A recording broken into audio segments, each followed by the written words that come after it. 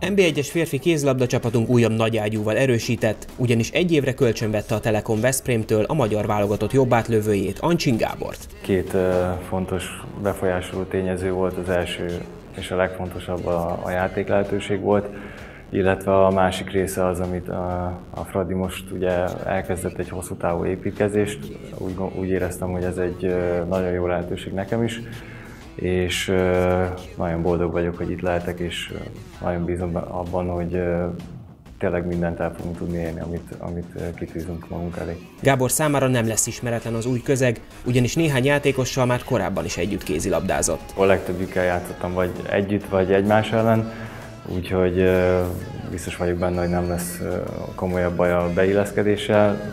Nyilván mindent meg is fogunk tenni, hogy ez minél hamarabb sikerüljön, úgyhogy izgatottan várom a, a kezdést, és hogy hogy tényleg minden a helyére kerüljön. Képesek lehetünk arra, hogy akár egy európai kupa induló helyezést sikerüljön megcsípni, azzal is tisztában vagyunk, hogy ez, ez azért komoly feladat, és nagyon sokat kell dolgoznunk ehhez. Ancsin érkezésével a szintén nyáron igazolt Suk Timuzsin mellett már két, a magyar nemzeti csapat meghatározó kézilabdázója is a Fradiban játszik a következő szezontól. Ez nem lehet kérdés egy magyar játékos számára, hogy hogy a címeres meszt felhúzza bármikor megpróbálja maximumot nyújtani. Abban a szempontnak nagyon örülök, hogy tényleg a játék lehetőség miatt remélem, hogy, hogy meghatározó játékosa lehetek a, a válogatottnak is, úgyhogy tényleg mindent izgatottan várok.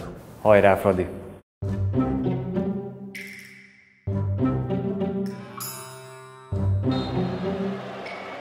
Gyerünk, gyerünk, gyerünk, gyerünk, gyerünk! Gyönyörű a cselva. Gyerünk, gyerünk! Mi van? Mi van? Mi van?